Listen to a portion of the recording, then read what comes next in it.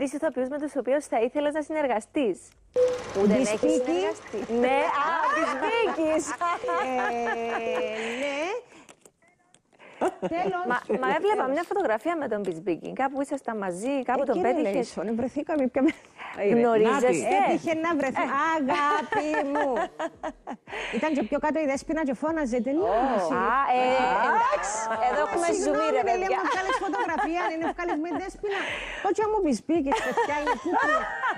Κούκλος που κοντά, κούκλος. Κούκλος, κούκλος. Ούτε κοιλιά Η έχει. δέσποινα ήταν που Όχι. κάνουν έτσι την Η ώρα. δέσποινα ήταν πιο κάτω. Ήταν να μπει μες στο λεωφορείο και φώναζε. Το έλα Βασίλη. Του λέει περίμενε, βγάζει φωτογραφία με την Λουκία. Πες μου ότι παίρνει λεωφορείο η Δέσποινα Βανδύ, γιατί είναι είδηση αυτό τώρα. Όχι, τους έφεραν λεωφοριάκι για να τους πάρουν Για στο φορά για να τους ξενοδοχείο. μεταφέρουν, ρε παιδιά. Μάλιστα, ζήλεψε ρε στην ότι άρκεψε και κοτσίνιζαν η δεσπίνα από απέναντι. Ε, ήταν νύχτα, είναι Α, πρόσεξε. ήταν νύχτα. Θα μπορούσε όμως. Μάλιστα. Είδες με με τη μάσκα. ναι, ναι, ναι, ναι, ναι. Τυχαίων ή. Τυχαίο. Ήσουν. ε, Όχι, έπρεπε να. Όχι, όχι. Α. Ήμουνα. έπρεπε Προστασία, να- ε, ναι, εντάξει. μπροστά, Ε, βέβαια, ναι. ε, βέβαια.